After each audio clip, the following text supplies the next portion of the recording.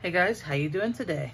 So, in the last video, I showed you how to make this pattern for a North American Arms mini revolver with a 1 and 5 eighths inch barrel and a case peanut knife, which is this little guy right here.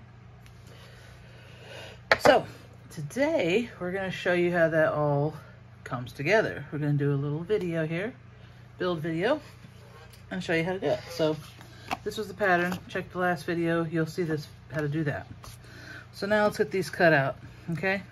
What you do is you take your pattern, and in the case of this particular pattern, what you're gonna do is trace one side of the pattern, and you flip it over because you need two sides. So flip it over, trace the other side.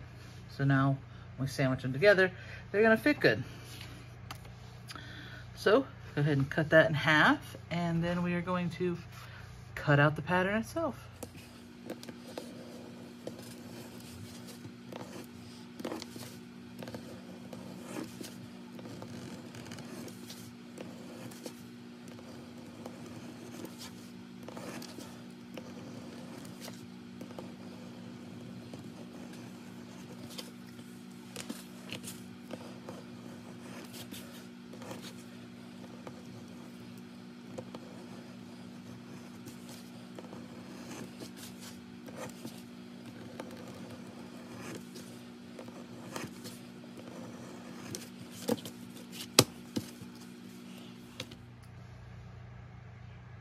So now we have both pieces cut out evenly.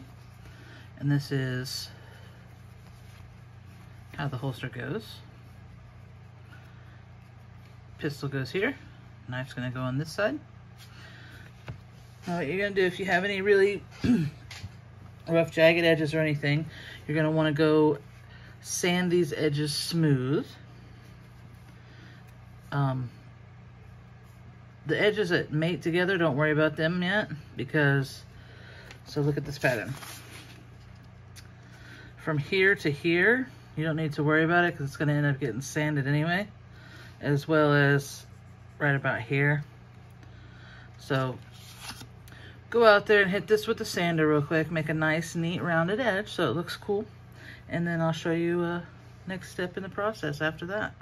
Much better, much better. Nice round edge. Okay. I also took the liberty of stamping my logo in the back there. So next on the agenda, I'm gonna need to mark where our stitch holes go, whether you're gonna be stitching this by hand if you're just starting out, or if you have a sewing machine so you know where your lines are to follow. So what I go ahead, I don't worry about these edges because I'll mark those uh, with a stitch groover when it's sanded. But the inside edges here that follow the contour of the pistol, those are the ones we're gonna do right now. And all I'm doing is lightly poking a hole just to mark it. You don't need to poke straight through to where you're hitting the table or anything. I'm gonna leave this edge too because it'll be sanded and look a lot nicer if it's even from the edge. Boom. And the same with this over here. I'll just leave this off. I, uh, like I said, I use a sewing machine. So if you are hand stitching, you might still want to mark those. Try it either way. See which way works best for you. I just know that once I sand it, I can run the stitch groover along the whole perimeter. Everything will be nice, neat, and even. So there's the first ones. I didn't worry too much about this right now because this is gonna end up getting sanded too. So you flip it over, do the same thing over here. On the back, so you know where your glue lines are gonna go.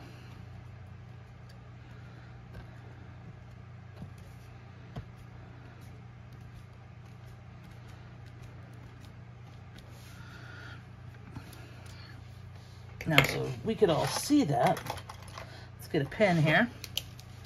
I mark all mine with a pen anyway, so I could see too.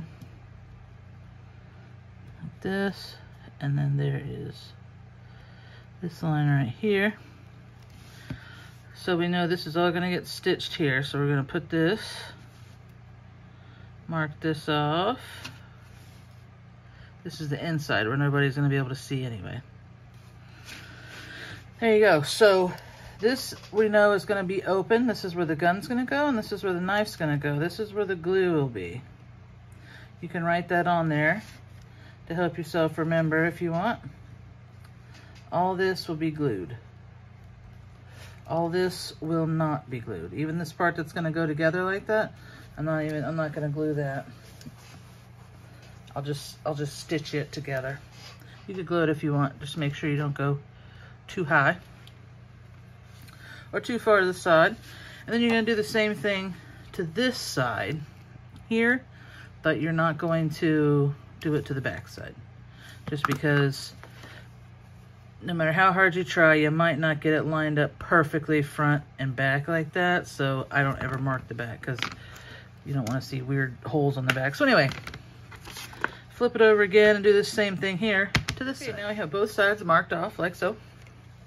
We're actually done with this pattern. We don't need it anymore.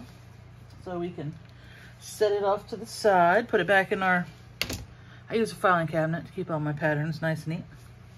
On the next step here, what you're gonna do is you're going to take your burnishing tool like this. It's got a groove, there's a couple different, this is what I use for thinner stuff here. And you're gonna go across the open edges here. So don't worry about this part because this is all going to be sewn and sanded.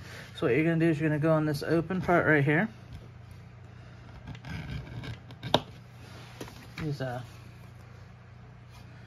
Make sure you sharpen your stitch, your uh, edge bevelers, people. Plus, it's very hard to do on camera. Anyway, I can't do this stretched out in front of the camera. What you're gonna do, bevel this edge here, and then do it again on the front, like so. Don't worry about that piece, really, because, you know, like I said, it's gonna end up getting glued and sanded. Stitched together. So there you go, bevel that side, bevel that side. Then you take your something to burnish it with. I use um, gum tragacanth, they have an Eco-Flo, and sometimes I use saddle soap um, and water, which works really good too. So in that instance, I don't have it right here. Where's? I have to go search for it. Anyway, I'll burnish these edges. So I'll put the burnishing compound on it, and I have a burnishing tool it looks like this here. You pick the smallest groove that it fits in and you just go over it. Uh, it's not so much pressure as it is the friction. So you don't have to push down and grind it. It's just going back and forth as many times as possible till you get a real nice smooth edge on there. This is the only one we need to worry about. This edge here and this here for right now. That's all we need to worry about. So go ahead and get that step done.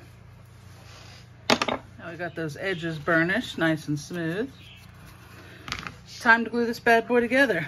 I put glue on both sides. Some glue you don't have to. This is one of them, I think, but I still did on both sides. So, like I said, put the glue in the area we marked for the glue. Like so.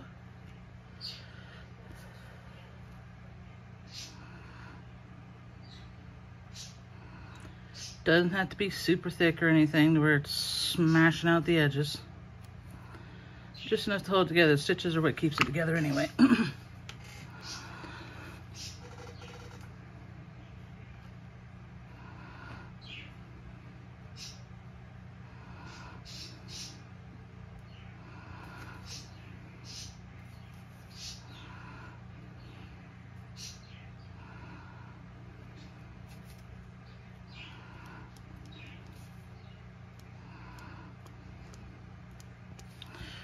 like so.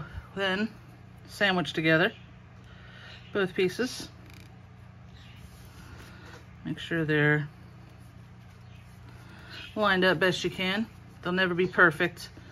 I have die cut stuff that's not even completely perfect. I still sand the edges. so after that, after everything's nice and lined up to the best of your abilities, run some clamps across. I'm gonna run the clamps all around the perimeter and we let it dry. This is what it's gonna look like while it's drying. All the glued edges are clamped together. And at this point, you just let it dry for a few hours. This stuff dries pretty quick. I give it a few hours and then I, what we're gonna do after that is I'm gonna sand all the edges smooth and we'll come back and I'll show you how to mark the edges for stitching. I do not wet mold for 24 hours after I glue, even though the glue is probably dry before that. I still wait 24 hours before I introduce any kind of water to the mix. So after this is sewn, it'll sit overnight and then it'll get wet molded. But you know, that'll just be the end of this video here. So that'll be the next step. All right, so, oh, shaky, shaky. So we got all the edges sanded nice and smooth, like so. Now before we bevel those edges, we're going to take stitch groover and go around the edge like I said. So starting right here, because this is an opening, we go down and around all the way. Oop, stop right there. Now I'm also going to take this freehand stitch groover and do these stitch lines. It's kind of hard to do on camera, but it's the same thing. It just doesn't have an edge guide. Now that you've made a nice stitch groove edge with a flat edge, now we can go ahead and use the beveler and bevel those edges like so. And don't forget to do the back.